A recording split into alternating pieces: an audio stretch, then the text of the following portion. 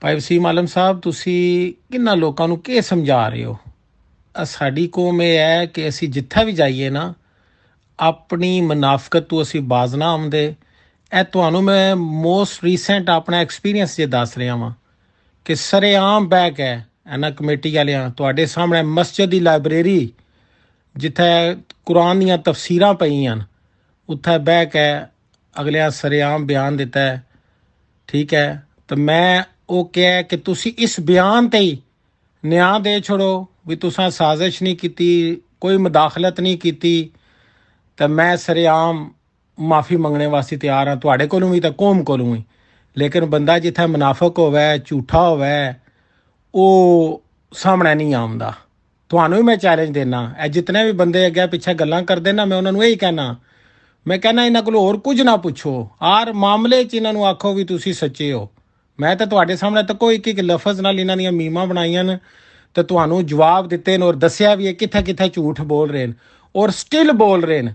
ਲੇਕਿਨ ਮੈਂ ਇੱਕੋ ਹੀ ਗੱਲ ਪਕੜਦਾ ਹੁੰਨਾ, ਮੈਂ ਨਾ ਕਿ ਕੋਈ ਵੀ ਬੰਦਾ ਜਾ ਕੇ ਇਹਨਾਂ ਕੋਲ ਪੁੱਛਿਆ ਤਾਂ ਕੋ ਮੈਂ ਤੁਹਾਡੇ ਕੋਲ ਕੋਈ ਪੁੱਛਾਂ ਨਾ ਵੀ ਐਸ ਤੇ ਨਿਆਂ ਦਿਓ।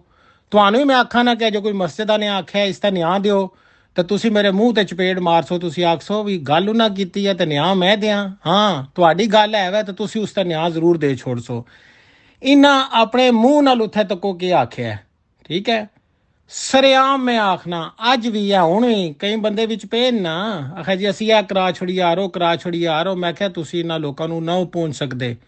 ਮੈਂ ਇਹਨਾਂ ਦੀ ਦਾਈ ਆ ਮੈਨੂੰ ਪਤਾ ਹੈ ਵੀ ਇਹ ਕਿਹੜਾ ਕਿਹੜਾ, ਕਿੱਥੇ ਕਿੱਥੇ ਹੈ, ਕਿਸਕੇ ਕੇ ਕੀਤੇ ਹੈ। ਤੇ ਮੈਂ ਕਿਹਾ, ਇਸ ਬਿਆਨ ਤੇ ਅੱਲਾਹ ਤਾਲਾ ਨੇ ਇਹਨਾਂ ਨੂੰ ਮਸਜਿਦ ਵਿੱਚ ਹੀ ਨੰਗਿਆ ਕੀਤਾ, ਅਲਹਮਦੁਲਿਲਾ। ਅੱਜ ਵੀ ਮੈਂ ਚੈਲੰਜ ਦਿੰਨਾ। ਕਿ ਅਗਰ ਇਹ ਮੁਨਾਫਕ ਨਾ ਹੋਣ, ਬੇਈਮਾਨ ਨਾ ਹੋਣ, ਝੂਠੇ ਨਾ ਹੋਣ, ਇਹਨਾਂ ਸਾਜ਼ਿਸ਼ ਨਾ ਕੀਤੀ ਹੋਵੇ, ਮਦਾਖਲਤ ਨਾ ਕੀਤੀ ਹੋਵੇ, ਤੇ ਇਹ ਅੱਜ ਵੀ ਬਿਆਨ ਦੇ ਦੇਣ, ਅੱਜ ਵੀ ਨਿਆਂ ਦੇ ਦੇਣ, ਤਾਂ ਮੈਂ ਸਰੇਆਮ ਕੌਮ ਕੋਲੋਂ ਮਾਫੀ ਮੰਗਣੇ ਵਾਸਤੇ ਤਿਆਰ ਹਾਂ, ਇਹਨਾਂ ਕੋਲੋਂ ਵੀ ਮਾਫੀ ਮੰਗਣੇ ਵਾਸਤੇ ਤਿਆਰ ਹਾਂ। ਤੁਸਾਂ ਨੂੰ ਵੀ ਆਖਣਾ, ਇਹ ਮੇਰਾ ਮੈਸੇਜ ਹੈ, ਮੈਂ ਬਿਲਕੁਲ ਇਸ ਨੂੰ ਵੀ ਵਾਇਰਲ ਕਰਸਾਂ। ਅਸੀਂ ਜਿੱਥੇ ਵੀ ਆ ਨਾ ਭਾਈਜਾਨ ਸਾਡੀ ਕੌਮਾਂ ਦਾ ਕੋਈ ਹਾਲ ਨਹੀਂ ਹੈ, ਅਸਾਂ ਜਿੱਥੇ ਸਾਡੀ ਮੁਖਾਲਫਤ ਹੈ, ਉਹ ਭਾਵੇਂ ਜਿੱਥੋਂ ਮਰਜ਼ੀ ਆ ਜਾਏ ਕੱਲ ਅਸੀਂ ਉਹਨੂੰ ਚੱਟਦੇ ਹੁੰਨੇ ਆ। ਤੇ ਜਿਸ ਤਰ੍ਹਾਂ ਜੂੰ ਹੀ ਸਾਡੇ ਮੁਖਾਲਫ ਕੋਈ ਉਹ ਆ ਜਾਏ, ਤਾਂ ਅਸੀਂ ਉਸ ਨੂੰ ਜਿਹੜਾ ਉਹ ਗਲੇ ਲਾ ਲੈਨੇ ਉਹ ਵੀ ਮਿਸਾਲ ਇਸੇ ਮਸਜਿਦ ਦੀ ਹੈ। ਉਹ ਵੀ ਤੁਹਾਡੇ ਸਾਹਮਣੇ ਦਿੱਤੀ ਹੈ ਕਿ ਇਹ ਹੀ ਲੋਕ ਜਿਹੜੇ ਕੱਲ ਸ਼ਾਹ ਸਾਹਿਬ ਨੂੰ ਬੁਰਾ ਭਲਾ ਆਖਦੇ ਸਨ, ਸਰੇਆਮ ਆਖਦੇ ਸਨ, ਠੀਕ ਹੈ, ਤਾਂ ਮੈਂ ਸਾਹਮਣਾ ਕਰਦਾ ਸਾਂ ਉਹਨਾਂ ਦਾ। ਲੇਕਿਨ ਅੱਜ ਇਹ ਹੀ ਜਿਹੜੇ ਮਰੀਦ ਹਨ ਉਹਨਾਂ ਦੇ, ਠੀਕ ਹੈ, ਉਹਨਾਂ ਉਹਨਾਂ ਨੂੰ ਗਲੇ ਨਾਲ ਲਾਏ ਆਵੇ ਤੇ ਇਹ ਜਨਾਬ ਮੁਨਾਫਕਤ ਹੈ। ਜਿੱਥੇ ਮੁਨਾਫਕ ਹੋ ਸੀ ਬੇਈਮਾਨ ਬੰਦਾ ਹੋ ਸੀ ਉਹਦੀ ਭਾਵੇਂ ਜਿਹੜਾ ਮਰਜ਼ੀ ਉਹਦੇ ਨਾਲ ਤੁਸੀਂ ਕੁਰਬ ਲਾ ਲਓ ਨਾ ਜਿਹੜਾ ਮਰਜ਼ੀ ਉਹ ਆਪਣੇ ਆਪ ਨੂੰ ਪਿਆ ਖਾਨਦਾਨੀ ਆਖੇ ਨਾ। ਲੇਕਿਨ ਜਦੋਂ ਉਹਦੇ ਅਮਾਲ ਜਾਂ ਕਰਤੂਤ, ਜਦੋਂ ਅੱਖਾਂ 'ਚ ਅੱਖਾਂ ਪਾ ਕੇ ਗੱਲ ਨਹੀਂ ਕਰ ਸਕਦਾ, ਸਾਹਮਣੇ ਨਹੀਂ ਆ ਸਕਦਾ, ਆਪਣੇ ਬਿਆਨ ਤੇ ਆਪਣੀ ਮੂੰਹ ਨਾਲ ਕੀਤੀ, ਗੱਲ ਤੇ ਨਹੀਂ ਖਲੋ ਸਕਦਾ, ਤੇ ਮੈਂ ਤਾਂ ਉਸ ਦਾ ਆਖਸਾਂ, ਤੂਫੀ ਹੈ ਹੋਰ ਕੀ ਆਖ ਸਕਦੇ ਆ ਜਨਾਬ? ਤੇ ਬਾਕੀ ਤਾਂ ਫਿਰ ਤੁਹਾਨੂੰ ਪਤਾ ਹੈ ਵੀ ਜਿਹੜਾ ਉਹ ਜਿਸ ਕੀ ਲਾਠੀ, ਉਸ ਕੀ ਭੈਂਸ, ਇਹ ਹੁਣ ਵੀ ਮੈਂ ਤੁਹਾਡੇ ਸਾਹਮਣੇ ਚੈਲੰਜ ਕੀਤਾ ਹੈ ਕਿ ਰਾਈ ਬਰਾਦਰੀ ਦਾ ਆਉਣੇ ਵਾਲਾ ਫਿਊਚਰ ਤੁਸੀਂ ਆਪਣੀਆਂ ਅੱਖਾਂ ਨਾਲ ਤੱਕੋਗੇ ਅੱਜ ਵੀ ਉਹਨਾਂ ਵਾਸੀ ਬੰਦੇ ਆਦੇ ਨੇ ਜੀ ਹਾਲ ਕੇ ਹੈ ਮੈਂ ਕਿਹਾ ਹਾਲੇ ਹੀ ਹੈ ਕਿ ਇਮਰਾਨ ਖਾਨ ਵਾਲਾ ਵੈ ਜੇ ਗੁਲਾਮੀ ਚ ਰਹਿਣਾ ਨੇ ਤਾਂ ਫਿਰ ਇਹਨਾਂ ਦੇ ਜਿਹੜਾ ਉਹ ਥੱਲੇ ਲੱਗੇ ਰਹਿਣ ਤੇ ਜੇ ਮਤਲਬ ਹੈ ਸਹੀ ਜੁਰਤ ਕਰਨੀ ਨੇ ਤਾਂ ਹੁਣ ਇਮਰਾਨ ਖਾਨ ਹਰ ਫੈਸਲਾ ਆਪਣੇ ਰਾਸਤੇ ਜੁਦਾ ਕਰ ਦੇਣ ਇੱਜ਼ਤ ਨਾਲ ਆਪਣਾ ਵਕਤ ਗੁਜ਼ਾਰਨਗੇ ਵਰਨਾ ਜ਼ਲਾਲਤ ਇਹਨਾਂ ਦਾ ਮੁਕੱਦਰ ਹੋਏਗੀ किसी के भी हम मुखालफ नहीं है ज़ाती तौर पर जहाँ तक तलक है मलिक खालिद पर पाबंदी की तो मैं ये बहुत दफ़ा बहुत सारे लोगों को पहले भी अर्ज़ कर चुका हूँ, और हम आज भी आपके इस चैनल के ज़रिए ये वाजह कर देना चाहते हैं कि खालिद मलिक को वालथम फॉरेस्ट इस्लामिक एसोसिएशन ने उसको बैन नहीं किया। यानी आपके राय साहब कहने का मतलब यह है कि वालतुम फॉरेस्ट इस्लामिक एसोसिएशन मैनेजमेंट ने बैन नहीं किया मेंबरान कमेटी ने बैन किया है एजीएम किया एग्जैक्टली यही तो बात इनकी क्या तादाद थी जिस वक्त वो तादाद जो है ना उस वक्त जितनी भी थी वहाँ पर मौजूद। कानून ये कहता है कि जितनी भी उस दिन हमारा काम होता है लोगों को बुलाना उस दिन सत्तर या पचहत्तर के लोग पास लगभग लोग थे।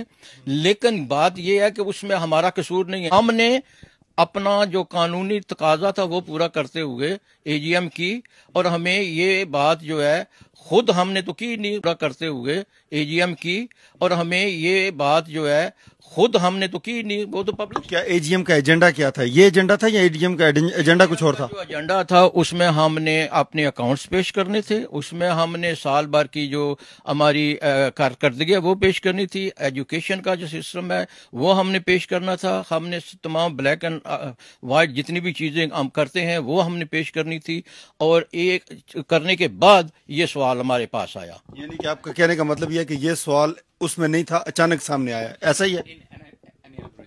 ये एनी अदर बिज़नेस जब होता है ना एनी अदर बिज़नेस में ये सवाल आया और एनी अदर बिज़नेस में जिन्होंने सवाल किया उन्होंने इंसिस्ट किया बल्कि उनका ये एक लफ्ज उन्होंने इस्तेमाल किया था कि जब हमने कहा कि ये नहीं होना चाहिए या होना चाहिए तो सवाल करने वाले ने यहाँ तक कहा था कि मोमन और मुनाफक एक जगह जमा नहीं रह सकते बराए करम मेरे इस अल्फाज पर वोटिंग कराएं हमें उसकी बात को मानते हुए वोटिंग करानी पड़ी